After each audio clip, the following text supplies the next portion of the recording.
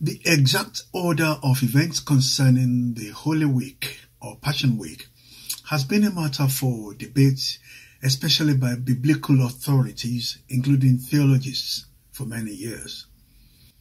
My timeline as researched from authentic sources, including the Holy Bible, gives a rough chronology of events of Jesus' journey day by day through the Passion Week. That is from Palm Sunday to Resurrection Sunday or Easter Sunday, and finally to Easter Monday, just as an addition. Day 1 Triumphal Entry on Palm Sunday.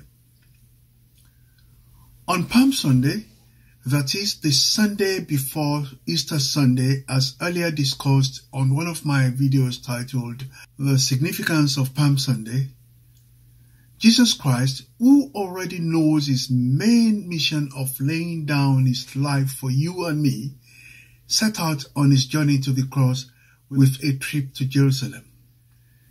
Just before getting to the village of Bethphage, he sent two of his disciples ahead to look for a donkey and its unbroken colt, untie the animals, and bring them to him. Jesus then continues his journey on the back of the donkey with humility as he slowly arrives triumphantly in Jerusalem, thereby fulfilling the old prophecy as written in the book of Zechariah chapter 9 verse 9. Rejoice greatly, daughter Zion. Shout, daughter Jerusalem. See your king comes to you, righteous and victorious, lowly and riding on a donkey on a colt, the foal of a donkey. He was welcomed to Jerusalem by crowds waving palm and other branches shouting, Hosanna to the son of David. Blessed is he who comes in the name of the Lord. Hosanna in the highest. Jesus and his entourage, especially his disciples, spent this Palm Sunday night in Bethany a couple of miles from Jerusalem, probably in Lazarus's and his two sisters Mary and Martha's residence, as he was a very close friend of Lazarus and the whole family. Remember Lazarus was the one just raised from the dead after he had died for four days.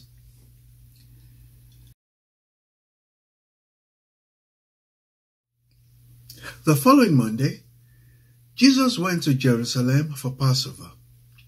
On his way, he cursed a fig tree for not bearing fruit. Some religious scholars saw this as representative of the Lord's judgment on the spiritually dead religious leaders, as a true living faith must bear spiritual fruit in a person's life. On arriving at the temple, he found it full of people dealing in corrupt practices including money changers who were extorting money from the people. The Bible states that Jesus was so upset that he started turning over tables and clearing the temple of these people, saying, The scriptures declare, My temple will be a house of prayer, but you have turned it into a den of thieves. He later returned to Bethany for his second night probably again in the home of his friend Lazarus. Records are not specific about this.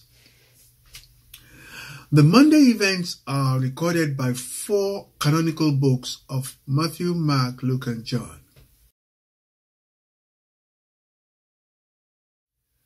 On the way to Jerusalem on Tuesday morning, Jesus spoke to his disciples and others about the importance of faith as he walked past the cursed fig tree which had withered. At the temple, religious leaders planned an ambush so as to place Jesus under arrest for being alleged to have established himself as a spiritual authority. Jesus was able to escape, saying, You blind guides, blind Pharisee, first clean the inside of the cup and dish, and then the outside also will be clean. Woe to you, teachers of the law and Pharisees, you hypocrites! You are like whitewashed tombs, which looks beautiful on the outside, but on the inside are full of the bones of the dead and everything unclean. In the same way, on the outside, you appear to people as righteous, but on the inside, you are full of hypocrisy and wickedness. So you testify against yourselves that you are the descendants of those who murdered the prophets. Go ahead then and complete what your ancestors started. You snakes, you brood of vipers, how will you escape being condemned to hell? From there later that Tuesday afternoon, Jesus and his company left for the Mount of Olives, which overlooks Jerusalem. There, in his usual fashion, speaks in parables and gave the Olivet Discourse, that is, a prophecy about the destruction of Jerusalem and the end times, its second coming, and the final judgment. The scripture reveals that it was also the same Tuesday that Judas Iscariot negotiated with the Supreme Court of ancient Israel to betray Jesus. Jesus and the disciples again returned to Bethany for the night.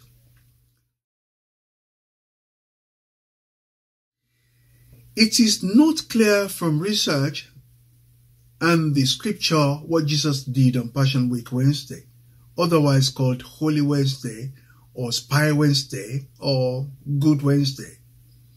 Some scholars speculate he may have taken a day off after two strenuous days in Jerusalem to rest in Bethany in anticipation of the Passover.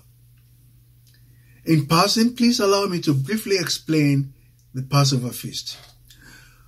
The Passover feast celebrates Israel's deliverance from slavery in Egypt.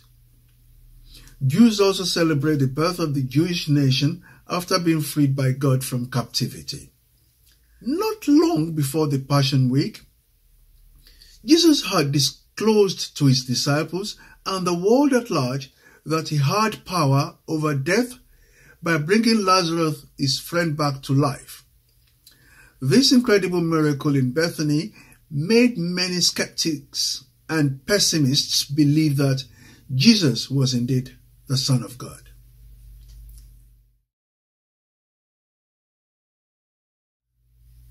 On Holy Week Thursday, which you may refer to as Maundy Thursday or Great Thursday, Jesus instructed Peter and John to prepare for the Passover feast at the upper room in Jerusalem. At sunset, Jesus began by washing his disciples' feet in preparation for sharing in the feast. This humble act of service makes a statement about how believers should love one another. This foot washing exercise is now being practiced by many churches in preparation for Maundy, Thursday. The disciples later that evening shared the feast of Passover with Jesus. It was at the Passover that Jesus said, I have eagerly desired to eat this Passover with you before I suffer. For I tell you, I will not eat again until it finds fulfillment in the kingdom of God. The fulfillment being the giving of his body to the broken and his blood to be shed in sacrifice, thereby exonerating us from sin and death. It is also during this Last Supper that the Lord's Supper, or what we now refer to as communion, originated and was established by Jesus to his followers to practice in remembrance of him and his sacrifice. After Passover later that night, Jesus and the disciples left for the Garden of Gethsemane, where he prayed earnestly and in agony to God the Father. Luke 22 verse 44 describes that Jesus' sweat became like great drops of blood falling down to the ground.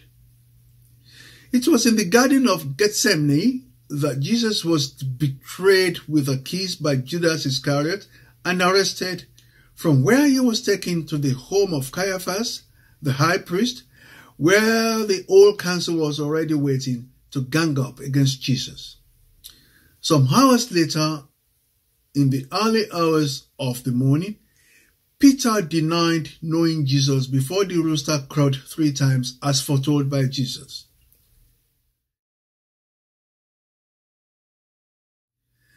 Good Friday is claimed to be the most testing, saddest, and unforgettable day of Passion Week. Our Lord Jesus Christ's journey turned treacherous and intensely agonizing in these final hours ahead of his death. Why then is it called Good Friday? Have you ever wondered? Scholars are divided on this issue. While doing the research on this topic, I stumbled on an answer that took my fancy, and I quote from HuffPost of 19 April 2019. It reads, That terrible Friday has been called Good Friday because it led to the resurrection of Jesus and his victory over death and sin, and the celebration of Easter, the very pinnacle of Christian celebrations. The disciple Judas Iscariot who had betrayed his leader, was overcome with guilt and hanged himself in the early hours of Friday. Meanwhile, before the third hour, that's around about 9 a.m., Jesus endured the shame of false accusations, condemnations, mockery, beatings, and abandonment.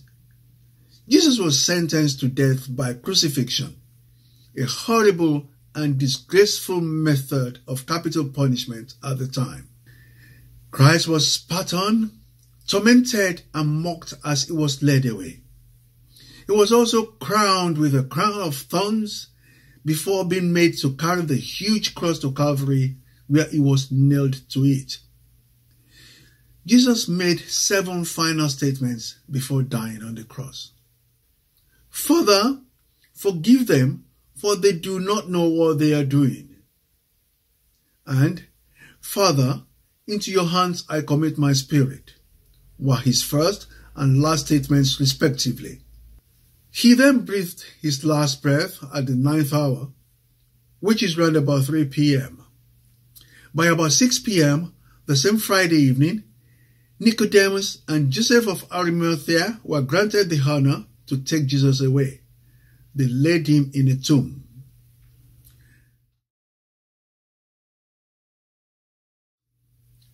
Jesus' body was guarded by Roman soldiers throughout the day on Saturday, the Sabbath. It was not until after the Sabbath ended at 6 p.m. that Christ's body was ceremonially treated for burial with spices supplied by Nicodemus.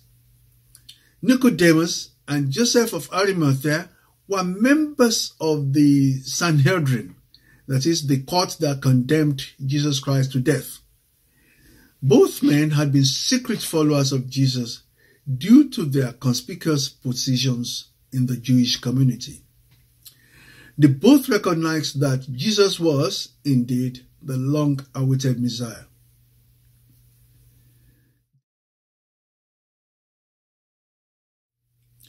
The Holy Week comes to an end on Easter Sunday or Resurrection Sunday. It is the biggest day in the Christian calendar. This is when Christians celebrate Christ's resurrection. The day Jesus emerged from the tomb after his crucifixion, proving for Christians and the world at large there is life after death.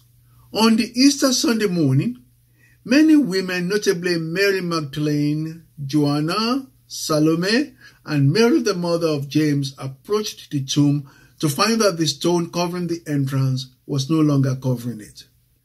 The angel said to the women, Do not be afraid, for I know that you are looking for Jesus, who was crucified. He is not here. He has risen just as he said. On the same day, Jesus appeared to people in at least five instances as documented.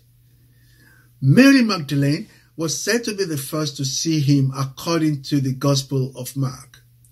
Others are Peter, the two disciples on the road to Emmaus, and all of the disciples except Thomas. Although the Passion Week ends on Easter Sunday, why do we celebrate Easter Monday? In the UK, like in many other countries, including Nigeria, Easter Monday is the last day of the holiday celebrations before going back to normal activities again. It is not a national public holiday in many parts of the world. Easter Monday's main religious significance is that it is the day after Christians celebrate the Messiah's resurrection. Jesus Christ paid the penalty for sin by offering the perfect, spotless sacrifice. He conquered death, both spiritually and physically, securing our eternal salvation. For you know that it was not with perishable things such as silver or gold that you were redeemed from the empty way of life handed down to you from your ancestors, but with the precious blood of Christ, a lamb without blemish or defect. The resurrection of Jesus Christ is the most significant event of the Christian faith. It is the rudimentary underpinning of all Christian doctrine what if there was no resurrection? What would have been the fate of the Christian faith?